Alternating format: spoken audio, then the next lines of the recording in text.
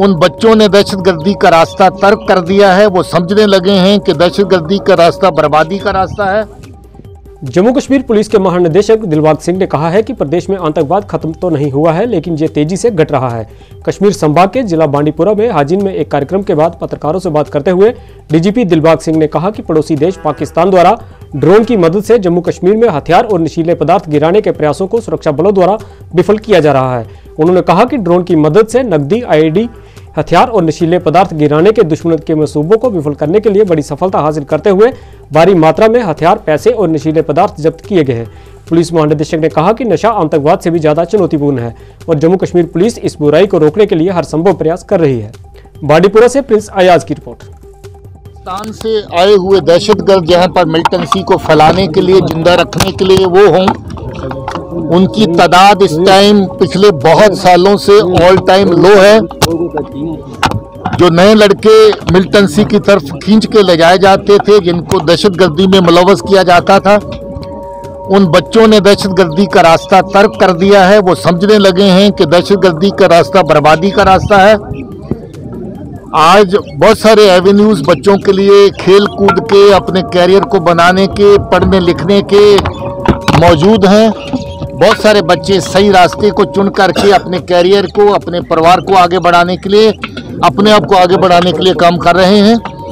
मुझे इस बात की खुशी है कि पुलिस और सिक्योरिटी फोर्सेस ने बहुत हद तक जो दहशत गर्दी है उसके ऊपर काबू पाया है और जो बची हुई दहशत गर्दी है उसके खिलाफ भी कार्रवाई की जा रही है। ड्रॉपिंग के लिए बहुत सारे काउंटर मेयर्स हम लोगों ने ग्राउंड के ऊपर लगाए हैं। उसमें बहुत सारी ड्रोन ड्रॉपिंग जो अलग अलग तरह के नशे के जो सामान है, उसको पार से पाकिस्तान से ला करके जहाँ पर पहुँचाती हैं।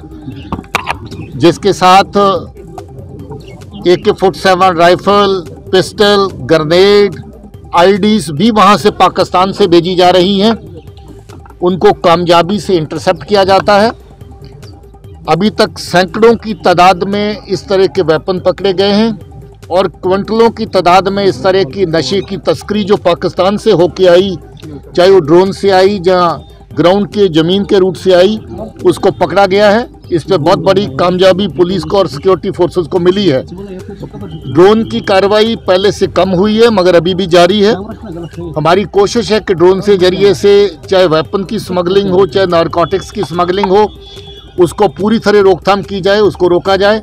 उसके लिए कार्रवाइयाँ मुसलसल जारी हैं। पूरी जम्मू कश्मीर के खत्े में, हर रेंज में खास मुहिम नशों के खिलाफ इस वक्त पुलिस ने छेड़ रखी है। उसी मुहिम का नतीजा है कि हर ज़िला, हर सब डिवीज़न हर थाना, हर रेंज हर जोन इस काम में लगी हुई है कि हम नशे की तस्करी नारकोटिक्स के ट्रेड में स्मगलिंग में जो लोग शामिल हैं, उनके खिलाफ सख्त कार्रवाई करें। बहुत सारी कामयाबी हमें बॉर्डर पे मिली है जहाँ से नशा पार से आके बॉर्डर के करीब डंप होता है। उसी नशे को आगे तस्करों के ज़रिए से कश्मीर के जम्मू के अलग अलग हिस्सों में पहुँचाया जाता है। बहुत सारे नशे को आगे पंजाब और उसके आगे पहुँचाया जाता है। हमने बहुत बड़े कार्टल्स ऐसे जो हैं, उनको ध्वस्त किया है, ख़त्म किया है। रिजौरी पुंछ के एरिया में बहुत बड़ी कामयाबी मिली है। जम्मू के बॉर्डर पे कामयाबी मिली है। कुपवाड़ा बारामूला के बॉर्डर पे कामयाबी मिली है।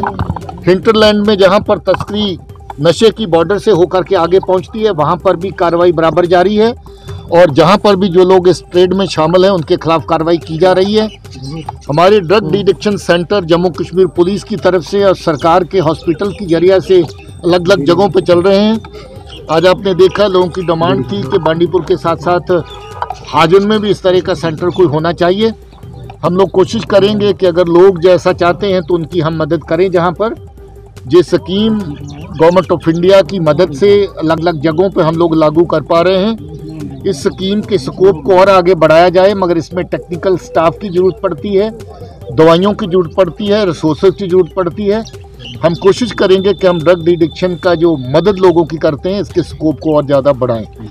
देखिए, जहाँ पर हर चीज़ को बैलेंस करके चलना पड़ता है, जहाँ आपको पता है कि अब श्रीनगर में ख़ास तौर पे लैंड ऑर्डर की किसी भी तरह की कोई समस्या जनरली नहीं सामने आती है।